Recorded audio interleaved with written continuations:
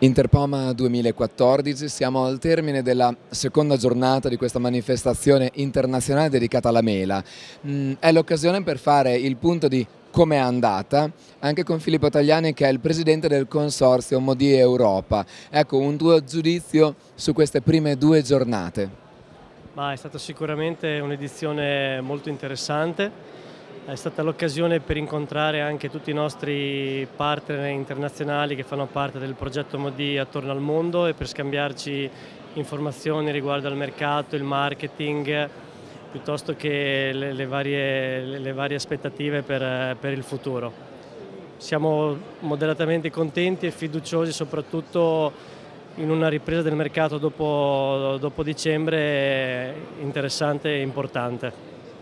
Eh, vediamo, ti farei un'altra domanda eh, sul tema ecco, dello sviluppo dei mercati eh, per quanto riguarda Modi. Quali sono eh, i mercati a cui state guardando, quelli che ritieni siano i più dinamici?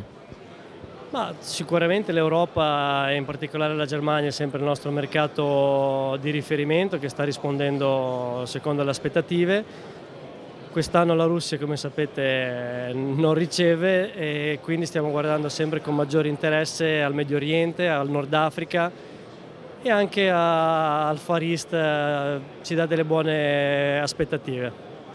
Grazie Lore per queste informazioni e di questo giudizio, ecco di questa seconda giornata di Interpoma. Eh, da Agronotizie e da Cristiano Spadoni è tutto.